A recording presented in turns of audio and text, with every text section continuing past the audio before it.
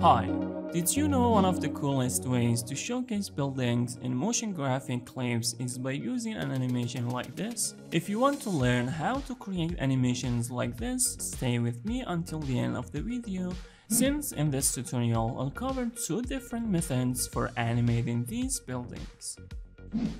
The first method is perfect for the simple and minimal designs you see on the screen where the animation will be achieved by animating the shape paths. And the second method applies to buildings with some depth, unlike the flat and simple ones from the first example. Although these layers are also shapes, animating them using shape paths isn't ideal, as it would make the process much more complex. Before we dive into the video, make sure to like and subscribe so YouTube can recommend more content like this. And if you're interested in motion graphics and After Effects and want to learn basically and step by step to becoming a pro motion designer, don't forget to check out my MotionGuru Masterclass. Okay, without further ado, let's get right into the video. To animate such buildings, as you can see the layers are shapes. And it's also good to note that all the paths are Bezier paths, meaning that I can create keyframes for the paths. Let me be clear, when I create a rounded rectangle and I open its contents, as you can see I can create keyframes for its path. In order to do this for paths, I have to convert it to a Bezier path so I can animate its path. To animate the scene, first I select these two shapes and right here I type path, so I can see all the path properties. I create a keyframe for all the paths. I hit U so I can see all the keyframes. Then I select all the keyframes and move them to the second one because I want the second state of the building to be this one. I go to the beginning of the timeline and make the first state. At the start of the animation, the frontal view should be flat. So I select the layer, pick up the pen tool and select one point. And then by holding Alt and dragging, I select all the other points. I hit Ctrl T, then hold Ctrl and drag this a little bit, so it will look flat. After doing that, let's work on animating this part.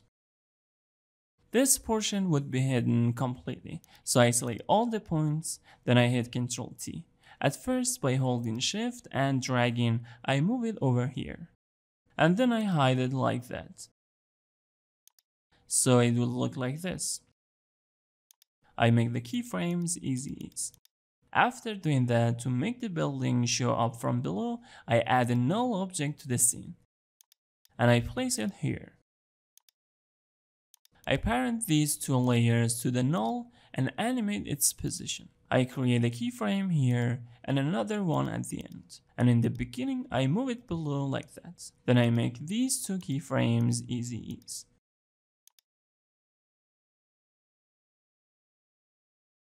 This tree layer should be in front of it.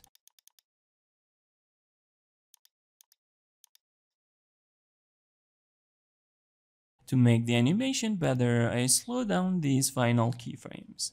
I set its influence to 80. I also expand the duration of the animation. Looks much better. For the animation of this one, we basically do the same thing, however this section might get slightly complicated. Let me select the layers so I can see them better. I select these two layers. I make a marker right here. I select the two layers and search the path properties. I create keyframes for all the paths, then I hit U. At the beginning, I select all the points of this layer and I stretch it like this so the side view would be flat. This one should be placed right here, as well as this one. This one should be right here, and so should this one. I select all these points I hold Alt and Shift and select this 1.2 so all the points would be selected. Then I hit Ctrl T and move it right here. I hold Shift so it wouldn't move up and down. I move it down a little bit and then I hide it like this. But be careful this lower point should be up right here as well as this one. Let's check it out.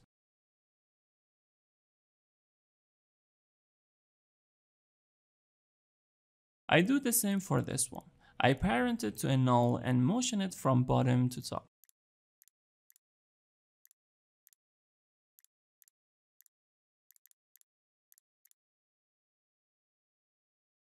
As you can see, the buildings seem to move in 3D. Now let's work on the other example. As you can see the layers are shapes, but because the building has a depth look, I can't make the same animation I did beforehand. That's why I'll be using another method. First, I select this layer and put it in new comp. As well as this layer. I open its comp. Using this tool, I select the area which I want to crop.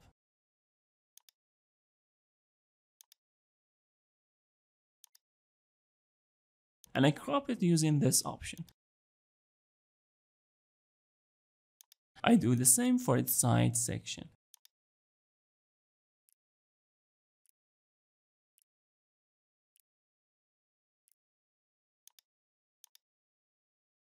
I head over to the main comp, select the layers, and move them to their original position.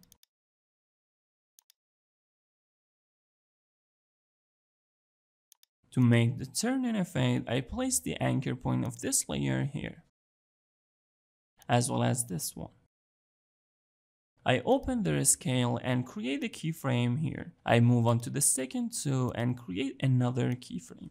In the beginning, I increase the X scale of this layer and set it to 140.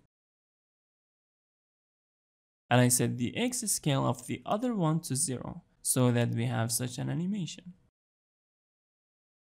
The next thing to do is fix the perspective issue and make it flat. For that, I select the front layer and apply the corner pin effect to it. I create a keyframe for its upper right. I hit U. I create another keyframe at the beginning. At first, it should look like this. Let me place a ruler right here. It should look like this at first, then it should be the other way. I have to reverse these two keyframes, so it will look like this. I should do the same for this part. I apply the effect to it. I create keyframe for the upper left here,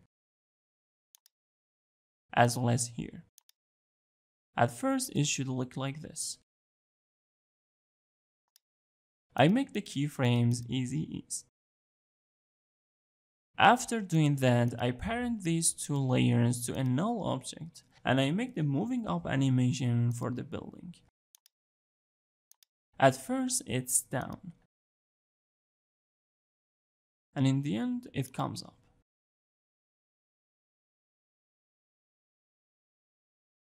Also good to note that when the building turns right, if the middle line is here at first, at the end it goes a little bit to the left, so I move the null a little bit to the left.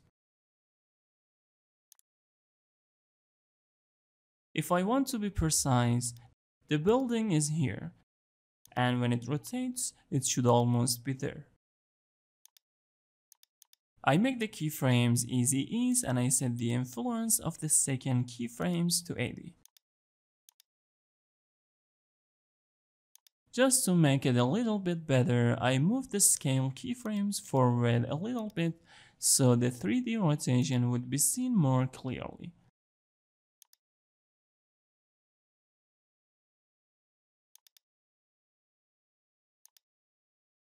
You can apply this technique to even more complex buildings and achieve impressive results. Thanks for watching and good luck.